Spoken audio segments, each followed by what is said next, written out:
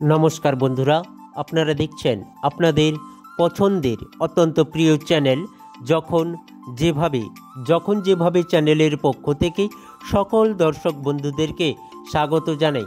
আজকে আপনারা যে ভিডিওটি দেখছেন, এটি হচ্ছে আম গাছের মিশ্র সারের ভিডিও। আমরা এই মিশ্র সারটিকে তৈরি করে নিচ্ছি।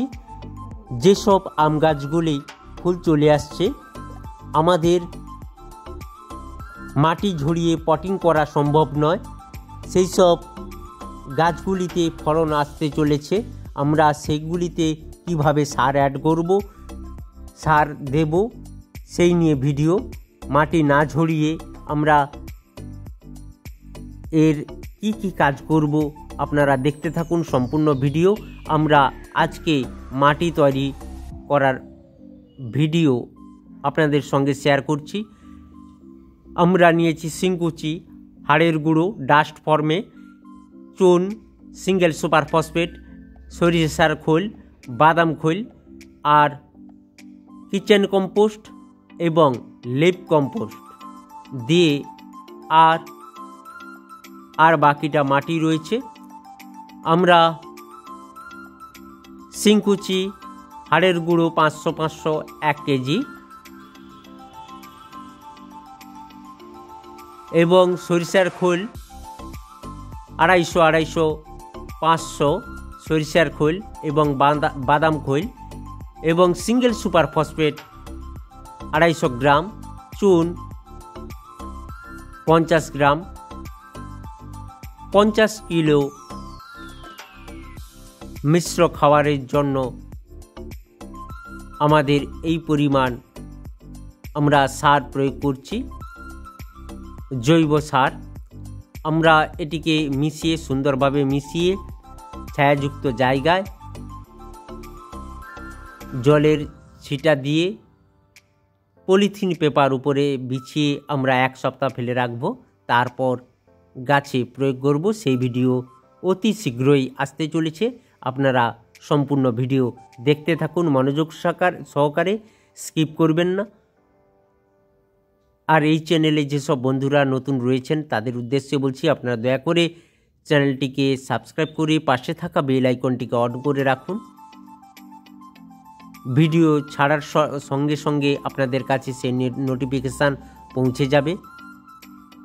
আপনারা সঙ্গে থাকুন, সম্পূর্ণ ভিডিও দেখতে থাকুন।